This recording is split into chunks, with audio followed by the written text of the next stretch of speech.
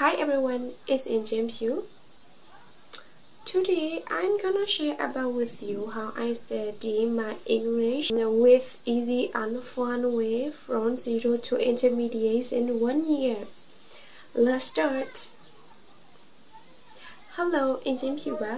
ဒီနေ့ကျမပြောပြချင်တဲ့အကြောင်းအရာလေးကတော့ကျမကတစ်နှစ်အတွင်းမှာ0ကနေပြီးတော့ intermediate ကိုဘယ်လိုမျိုးလွယ်လွယ်ကူကူနဲ့ရောက်ရှိသွားလဲဆိုတာကိုကျမက sharing လုပ်ပေးချင်တာဖြစ်ပါတယ်ရှင်။ ပထမအဦးဆုံးပေါ့နော်ကျမကဟို speaking အပိုင်းလေးကိုကျမအရင်ပြောပြခြင်းနဲ့ speaking အပိုင်းနဲ့ပတ်သက်လို့ရှိရင်တော့ကျမကလေ Facebook မှာပေါ့နော် Facebook တို့ YouTube တို့မှာက sentence အတူလေးတွေကိုဆရာတချို့ဆရာတွေကပြောပြပေးရရှိရပေါ့နော်အဲ့ဒါကဘာလဲဆိုလို့ရှိရင်อืมနှာခေါင်းမနိုင်နဲ့ဆိုလို့ရှိရင် don't pick your nose နှက်ညက်ဆိုလို့ရှိရင် blow your nose ဆိုပြီးမလားပြီးတော့လို့ရှိရင်ဖနက်ချော့အော်နင်းဖနက်စီကပြောင်းပြန်ကြီးဖြစ်နေရဲဆိုလို့ရှိရင်အဲ့လိုမျိုးပြောင်းပြန်ကြီးဖြစ်နေရဲဆိုလို့ရှိရင် your shoes your shoe is on your round foot အဲ့လိုမျိုးတွေပြီးတော့လို့ရှိရင် mind your step တတိထား is slippery အညာချောနေတယ်ကလေးကိုအဲ့လိုမျိုးပြောချင်တဲ့ဟာတွေအကုန်လုံးဆရာကြီးပြောတာရှိရပေါ့နော်အဲ့ဟာလေးကိုကျွန်မကလိုက်ပြီးတော့ memorize လုပ်တယ်ပြီးတော့လို့ရှိရင်ကလေးကိုလည်းပဲ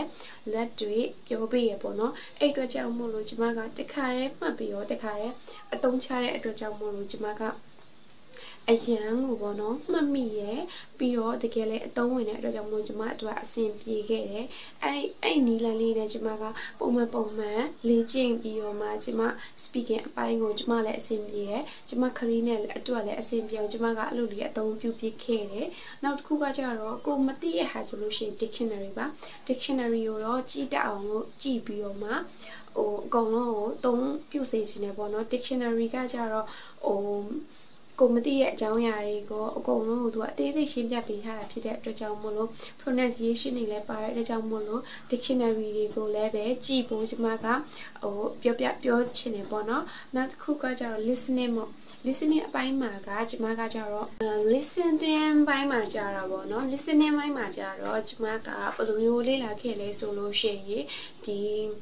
ဆရာကြီး AG host ရဲ့ပေါ့နော် mini stories လေးကိုကျွန်မကနားထောင်ခဲ့တယ်အဲ့ mini stories ရဲ့ကောင်းချိုးလေးတွေကကြတော့ပေါ့နော်သူကကြတော့ချက်ချင်းမေးခွန်းမေးတယ်ကိုကအတူလေးကိုတခါရဲပြောပြရတာဖြစ်တဲ့အတွက်ကြောင့်မလို့ပေါ့နော်ဒီမေးခွန်းတွေကိုလည်းကျမတို့ကတခါရဲမှတ်မိတယ်ပြီးသွားလို့ရှိရင်အဖြစ်ပြန်ပြောရတာဖြစ်တဲ့အတွက်ကျမတို့ကအဆင်ပြေပေါ့နော်အဲ့အတွက်ကြောင့်မို့ကျမကဒီ mini stories လေးကိုဟိုနားထောင်ခဲ့တယ်လူတွေကပေါ့နော်တနေ့တနေ့လာသွားပြီလားစားပြီးသွားပြီလားဟိုဘာလို့နေလဲလာနဲ့လဲနေပဲအသုံးများကြဖြစ်တယ်မလားအဲ့အတွက်ကြောင့်မို့အဲ့ဒီ mini stories လေးကိုနားထောင်ပြီးတော့ကျမက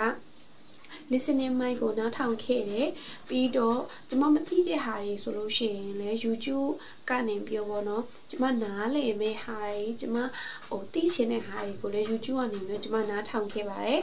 ဒါကကြတော့ကျမရဲ့ listening ပိုင်းပဲဖြစ်ပါရဲ့ရှင် အဲပြီးတော့ reading အပိုင်းကတော့တူတူတူတော့မရှိဘူးပေါ့နော်ကျမကကလေးကို story books လေးတွေဖတ်ပြဖြစ်တယ်အဲ story books လေးကနေပြီးတော့မှကျမလည်းဖတ်ကြည့်ပြီးတော့ကျမလည်းလေ့လာဖြစ်တယ်နောက်တစ်ခုကကျတော့ဒီ Google Google ကနေပြီးတော့ပေါ့နော်ကျမကအဲတော့ elementary ပဲရှိသေးရဲ့ဆိုတော့ elementary နဲ့ပတ်သက်တဲ့ဟိုစာအုပ်လေးကိုကျမရှာတယ်အဲတော့ငါဆိုလို့ရှိရင် Robinson Crusoe တို့ ပေါ့တခြားဟာကြီးပါရဲ့ဟိုအခြေဝတ္ထုလေးရောအဲ့ဒါလေးကိုကျမကဖတ်ပြီးတော့မှလေ့လာခဲ့ပါတယ်အဲ့အတွက်ကြောင့်မလို့ကျမလည်းပေါ့နော်ဟိုဖြစ်ဖြစ်ချင်းစီပဲဒီလိုမျိုးအချိန်ရတဲ့အချိန်လေးကိုဖက်ပြီးတော့မှလေ့လာခဲ့ပြီးတော့မှဒီလိုမျိုးဟိုအဆင်ပြေခဲ့တဲ့အတွက်ကြောင့်မို့လို့ကျမရဲ့ကလေးအမေတွေကျမရဲ့ တငယ်ချင်းတွေကဟိုမိတ်ဆွေတွေအားလုံးပေါ့ပေါ့နော်ကိုကိုကိုယုံကြည်မှုတိုးတက်လာအောင်ပြီးတော့ကိုလည်း development ဖြစ်လာအောင်နော်ကိုကိုကိုရတဲ့အချိန်လေးဖည့်ပေးပြီးတော့အသုံးချစေချင်ပါတယ်ရှင်ကိုကိုကိုပို့ပြီးတော့မှချစ်ချောင်းတတိပြလိုက်ပါရှင်အားလုံးကိုကျေးဇူးတင်ပါတယ် bye